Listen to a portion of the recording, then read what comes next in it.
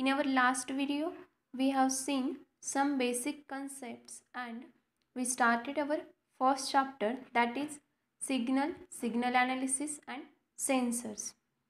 In that, we have seen what do mean by sensor, examples of the sensors and after that we have seen the sensor characteristics. In that, there are two types of the characteristics. First is the static characteristics and second is the dynamic characteristics. Now, we have seen about static characteristics. Static characteristic is the set of criteria defined for the instrument which are used to measure the quantities which are slowly varying with the time or mostly constant that is do not vary with the time it's called the static characteristic and which we which we discussed in our last video. Now we describe we want to describe the performance of the sensor. We need different parameters. So we have different parameters. There are 13 total parameters. First is the accuracy. Second is the precision. Third one is the sensitivity. Fourth one is the linearity. Fifth one is the reproducibility sixth one is the repeatability. Seventh resolution. Eight threshold. Nine drift. 10 stability. 11 tolerance. 12 range. And 13 hysteresis. These are the total 13 parameters which help us to describe the performance of the sensor. Now we will see one by one. First one is the accuracy accuracy is the closeness of the measurements to a specific value. Means if we perform experiment then we we will get a experimental value after performing the experiment. But for that experiment we have some standard value. And after that we have to conclude how much the measured value approaches to the standard value. This decides the parameter that is the accuracy the accuracy is the measure of the degree of closeness of a measured or calculated value to its actual value that is standard value or true value as we seen above. The accuracy can be expressed in three different ways such as first is the point accuracy, second one is the accuracy as a percentage of a scale span, third is the accuracy as a percentage of true value. Now we see first point accuracy. It is specified at only one particular point of the scale. It does not give any information about the accuracy at other point of the scale.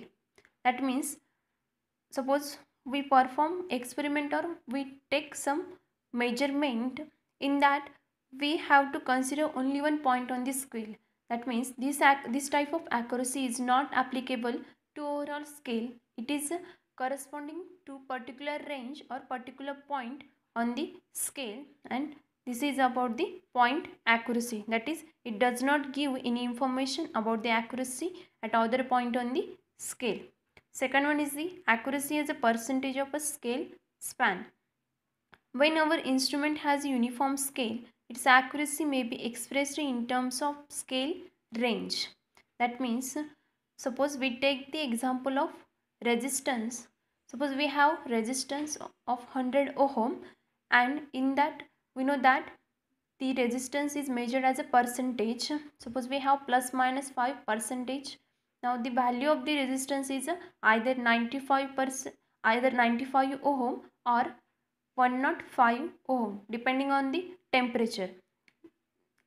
Like this we express the accuracy as a percentage of a scale span. Next one third one is the accuracy as a percentage of a true value. The best way to understand the idea of accuracy is to specify in terms of the true value of the quantity being measured. The mathematical relationship is given by that means the accuracy can be defined as accuracy is equal to error divided by true value into 100. That means in our measurement we have some true value and in that after performing some experiment or after going through some procedure we get experimental value. We know that the error is a difference between the measured value and the true value where error is the measured value minus true value. That is the difference between the measured value and true value this is about all about accuracy accuracy. Now the second parameter is the precision.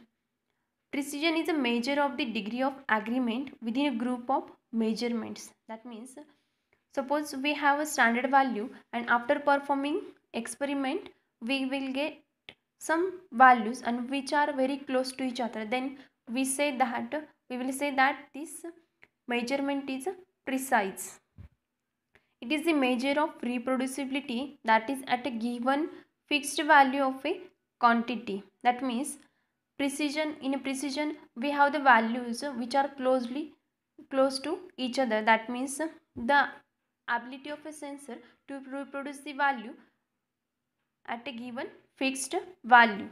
It is the closeness of measurements to each other. That means the measure values are close to each other it is the degree to which repeated measurements under unchanged conditions show the same result. That means if we have all conditions that is the environmental conditions some physical parameters which all are the same for our measurement and also the instrument on which we perform the experiment and the uh, experiment performed by the person is the same then we will get the same result and this is determined by the precision of that sensor.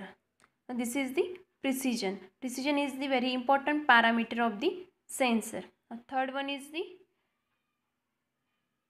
before going to third third one characteristic we will see some difference between precision and accuracy.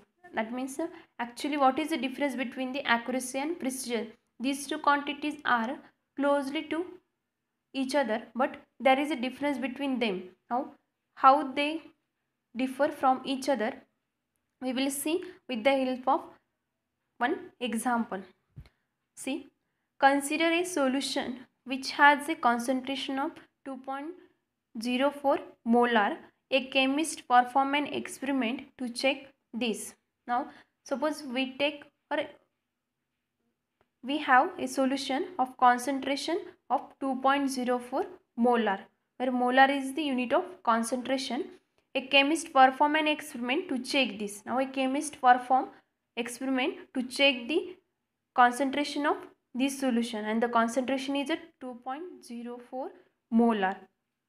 The values he obtained are 1.74 molar 1.73 molar and 1.75 molar.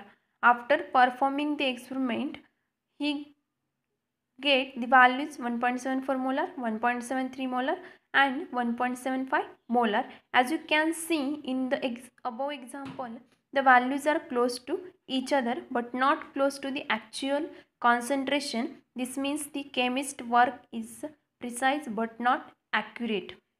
That means if we see the values that is the measured value which are 1.74 molar, 1.73 molar, 1.75 molar. These values are closely to each other. That is, there is no difference, there is no large difference between two values. That means they are closely to closely to each other but not closely to the actual concentration. We have the actual concentration is a 2.04 molar and we will get the values 1.74 molar, 1.73 molar and 1.75 molar. This is not close to the 2.04 molar. That means the chemist work is precise but not accurate. Now after that he repeats the experiment and obtain the values 2.08 molar, 2.31 molar and 1.76 molar.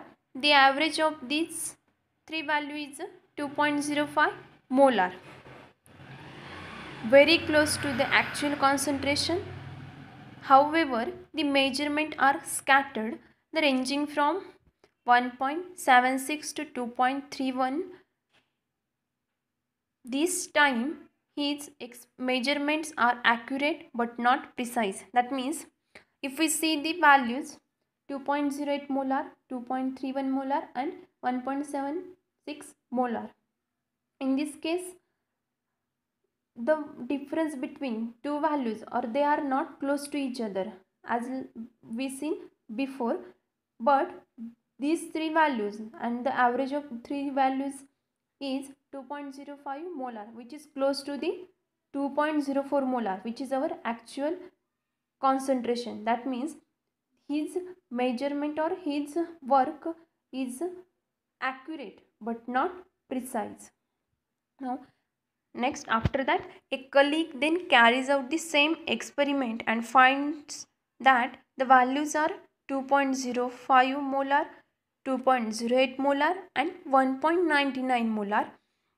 These are all are close to the actual value and also close to the each other. Therefore these measurements are precise and accurate. That means after chemist the colleague performed the experiment and he obtained the values that is 2.05 molar 2.08 molar and 1.99 molar. These values are close to each other that is 2.05 2.08 and 1.99 and also these three values are close to the actual concentration that is 2.04 molar. That means the measurement are precise and accurate. Now with the help of this we will see some difference between the precision and accuracy. That means the measurement is precise or accurate. When the measurement is precise when the measurement is accurate we will see with the help of some other example or some other condition. That is the some suppose we have some arrows and a particular target that is the particular center where the accuracy is more accurate with the help of this we can also explain the difference between the accuracy and the precision. Now let's see. Suppose an arrow in the center indicates high accuracy in a figure first. That is, suppose we consider the figure first. At the center, the accuracy is higher and the arrow which is at the center that means the accuracy is the high and which is away from the center then the accuracy is low. And if we take one more than two or more than two arrow and after that we will see the situation.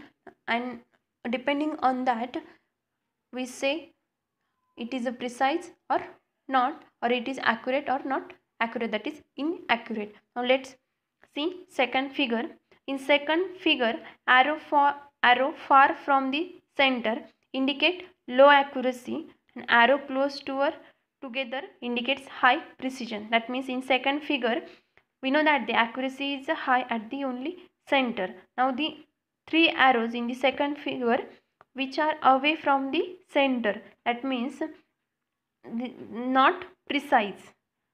That means not accurate and these arrows are also close to each other. It means they have the value nearly same or close to each other. That means the measurement is precise but the arrows the arrows are away from the center. That is not accurate.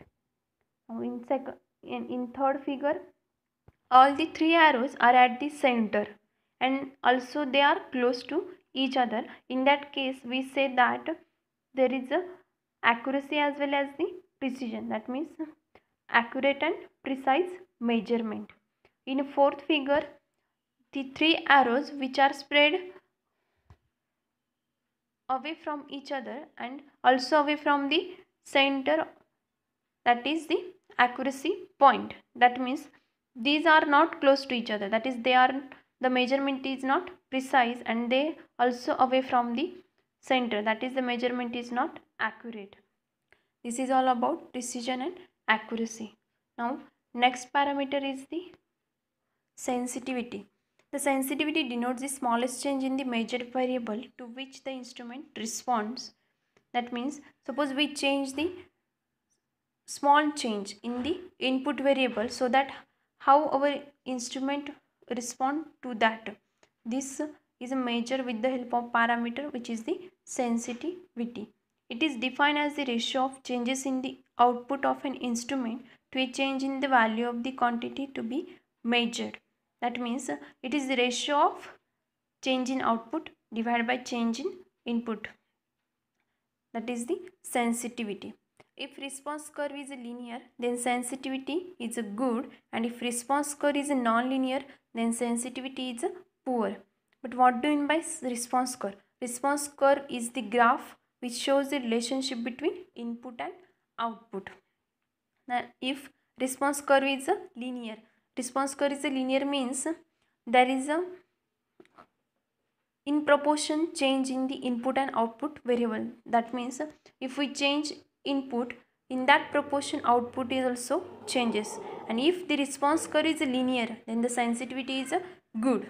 And if the response curve is non-linear then sensitivity is poor. That means the the relationship between output and input curve is a non-linear. That means there is inverse relationship between input and output then the sensitivity is poor. This is all about sensitivity. And the sensitivity is a very important parameter for the sensors because the sensors are used in a safety precaution or uh, some product quality to check the same product quality so that the sensitivity of the sensor is a very important parameter now next parameter is the linearity it is defined as the ratio of the maximum deviation between the actual characteristic curve and the fitting straight line in the full range to the output value of the full range. That means suppose we have the curve which shows the relationship between input and output. That is the and the standard curve is fixed. That means the standard curve we some we have the some standard curve but after performing the experiment we get the input and output values. So that from that we plot the curve or draw a graph or we get a curve which shows the actual characteristic curve. And there is a maximum deviation between the characteristic curve and fitted straight line in the full range to a output value of the full range.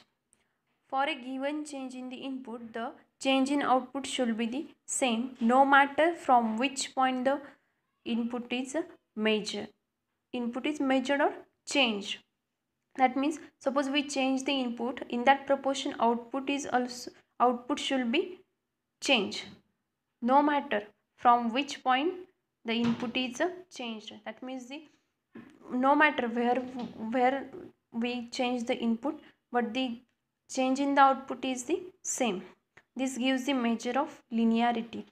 Linearity is a major quantity, measure of quality of the sensor. There are different types of the linearity. First is the endpoint linearity. Second one is terminal linearity. That is endpoint linearity. Third one is the independent linearity. Fourth one is the theoretical linearity. And fifth one is the least square linearity we are not going in detail but these are all the types of the linearity this is all about linearity now next point is the repeatability it is the ability of a sensor to reproduce a group of measurement of the same input under the same operating conditions. That means it is the ability of a sensor to reproduce a group of readings or measurement of the same input. That means the input is the same under the same operating conditions such as physical parameters such as humidity temperature all these condition or operating condition. That means the instrument on which we perform the experiment or the experiment performed by the person is the same. All are the operating conditions are same. And then and then we will get the same output. It is the defined as measure of a deviation of test result from the mean value. Mean that means suppose we have particular value and there is a deviation of the test result from that mean value. And this can be calculated with the help of quantity which is the quantity that is the repeatability. It shows the performance of the sensor. That means how the instrument is able to repeat the value. That is the it shows the performance of the sensor some sensors are required for safety or product quality and therefore they should be very reliable. We know that uh, the sensors are used in a product quality in markets in shops and they also used for safety and therefore they should be very reliable. This is the sensor characteristic or sensor parameter which help us to study the performance of the sensor. Next one is the reproducibility. It is the the output of a measurement should be the same no matter how many times it is performed where it is performed or who is performing. This is called as the reproducibility. As we seen in a repeatability repeatability that means we have the same result for the same operating condition. But in case of reproducibility if the operating conditions are changed that means the instrument is changed on which the experiment is perform, performed and also the experiment is performed or who is performing doesn't matter but the result is the same that is the reproducibility. It is a degree of closeness with which a given value may be repeatedly measured that means it is the ability of instrument to reproduce the given value. It is the specified in terms of scale reading over a given period of time. That means there is a particular time. For that time our instrument is able to take reading or for the measurement. It is the ability to perform its assigned function for a specific period of time. That means suppose we set a particular time. In that time the ability of a sensor to perform its assigned function that is the reproducibility. That means suppose we fix particular time interval. In that time the sensor have to measure this this value. That is the the ability of that sensor. And that ability is nothing but the reproducibility now the repeatability and reproducibility both concepts are nearly same but there is a difference. That means the operating conditions only operating condition change then then there are two parameters. That is the repeatability and reproducibility. Now we will see some basic difference between the repeatability and reproducibility difference between the repeatability and reproducibility. There are different parameters conditions environmental conditions setups units operators. On that the reproducibility and repeatability distinguished. In reproducibility conditions environmental conditions setups units operator all are the different. But we will get the same result. But in repeatability if we change the conditions environmental conditions setups units or operators we will get different result. That means reproducibility is able to obtain the same result if we vary the conditions environmental conditions setups units or operators that means all are the different but we will get the same result. But in repeatability identical same all the result. But when the condition environmental conditions setups units operators all are the same then and then we will get the same result. This is the basic difference between the reproducibility and repeatability. That is both the terms repeatability and reproducibility describe the spread of output readings for the same input. That means it also gives the spread of output readings. That means this range or span of the output reading for a particular input. That is the same input but there is a difference between them. That is the spread is known as the repeatability if the measurement conditions are constant. Measurement condition means the parameters which have seen conditions, environmental conditions, setups, units, operators. All are the constant. Then and then we will get the same result for the same input. But in reproducibility, if the measurement conditions varies, even if measurement conditions are vary, we will get the same result. This is the basic difference between the reproducibility and repeatability. Now, in this video, we have seen total 6 parameters of the sensor and these 6 parameters are uh, help us to describe the or to study the performance of the sensor. That is we have seen first is the accuracy, second one is the precision, third one is the sensitivity, fourth one is the linearity, fifth one is the reproducibility sixth one is the repeatability. These all six parameter we have seen in this video. Now in next video we will see other remaining parameters